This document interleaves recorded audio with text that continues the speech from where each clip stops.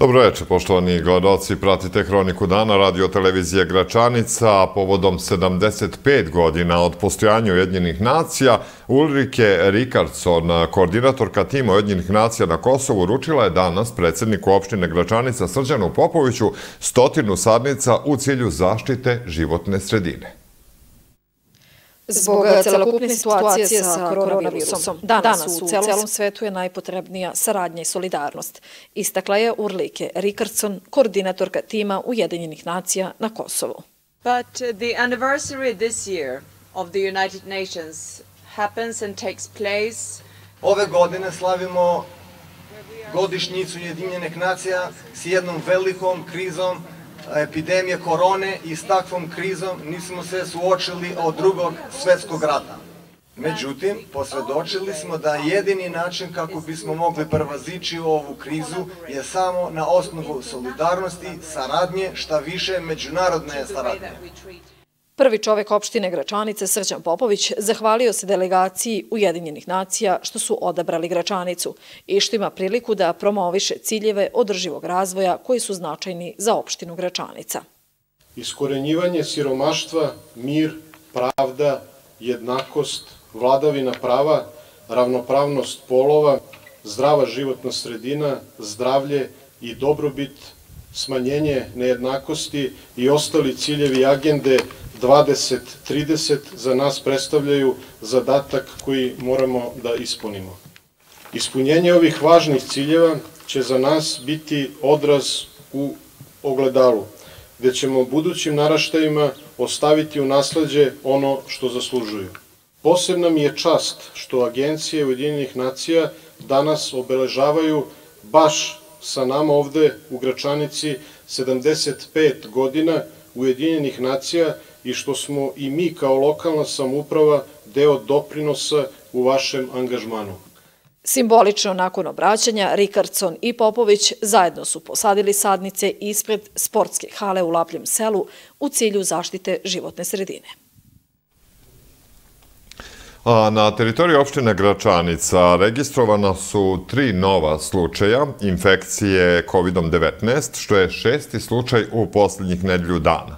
Krizni štab poziva na oprez i na strogo poštovanje propisanih mera. Iz kriznog štaba opštine Gračanica obaveštavaju javnost da sa tri nova slučaja ukupan broj pozitivnih na koronavirus na teritoriji opštine Gračanica iznosi 85. Na odeljenju infektivne klinike Kliničkog centra Priština u Lapljem selu povećava se i broj hospitalizovanih pacijenata u odnosu na prethodnu nedelju, pa je sada ukupno troje zdravstveno zbrinuto u ovoj zdravstvenoj instituciji. Iz kriznog štaba opštine Gračanica pozivaju meštane opštine Gračanica na pojačan stepen odgovornosti i disciplinovanog ponašanja u narednim nedeljama, što se pre svega odnosi na nošenje zaštitnih maski, održavanje distancije i prvovremeno javljanje u najbližu COVID ambulantu sa pojavom prvih simptoma simptoma. Molimo sve meštane da najozbiljnije shvate trenutnu epidemiološku situaciju i da se strogo pridržavaju svih propisanih mera kako bi sačuvali svoje zdravlje i zdravlje svojih najbližih. Mere predostrožnosti su neophodne kako bi se sprečilo potencijalno širenje COVID-19, posebno u smislu društvenih aktivnosti, proslava i velikih okupljanja koje potencijalno mogu biti najveća opasnost od prenošenja virusa, saopšteno je iz kriznog štaba. A Jesenja setva je u toku i na severu Kosova i Metohije i kasni samo ako je oko 60% posijano, kažu agronomi. Optimalan rok za završetak je do 10. novembra.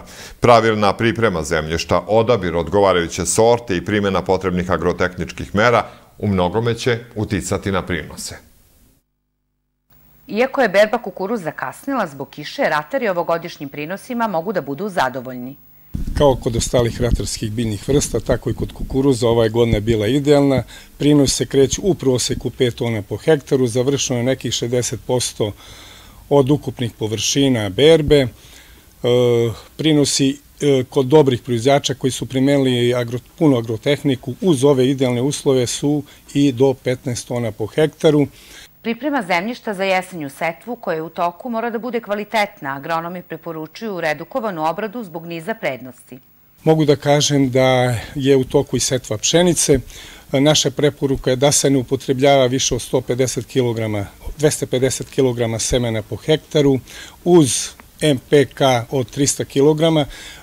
Pošto su ovakvi uslovi zaista teški za oranje, mi preporučujemo kao i svake godine, ako ne može da se odradi oranje, osnovno, znači osnovno oranje, onda radimo redukovanu obranu, obradu. Visoki prinosi i kvalitetan rod zavisi od odabira sorte. Preporučit ću prvo NS40S, dobar prinos, ove godine imala 9 tona po hektaru kod mnogih naših proizvođača, zatim e, i Linu takođe isto koja je bila u našim ogledima, koja daje taj prinos, 11 potencijalna rodnost, 11 tona po hektaru, e, zatim pobedu i dalje e, i Simonidu koja ne treba da bude izostavljena nikako zbog svog kvaliteta. Svi oni proizvođači koji koriste seme, odnosno brašno, on je treba da je proizvode. Do kada treba završiti setvu? Setvu pšenice treba završiti do 5. novembra, odnosno 10. novembra u našim uslovima, a onda može i kasnije, ukoliko proizvođači to ne odrade. Još jedna stvar, ukoliko ne postoji e, proizvođači nisu u mogućnosti da nabave semensku robu, mogu onu od prošle godine, znači prvu reprodukciju ili elitu, s tim da je obavezno se mesanom tretiraju od bolesti. Samo primjenom svih agrotehničkih mera tokom setve ratari mogu očekivati rekordne prinose u narednoj godini.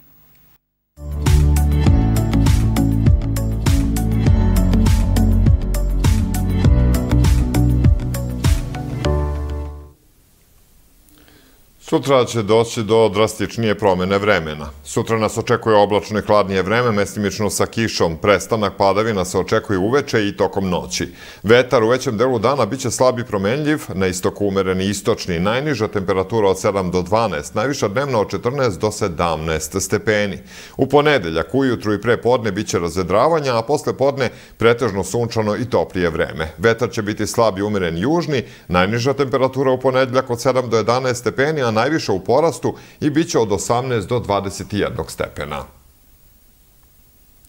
I to je bila poslednja informacija u ovom izdanju Hronike dana radio televizije Gračanica. Želimo vam lepo veče i naravno sutra je jedan lep nedeljni dan. Prijatno.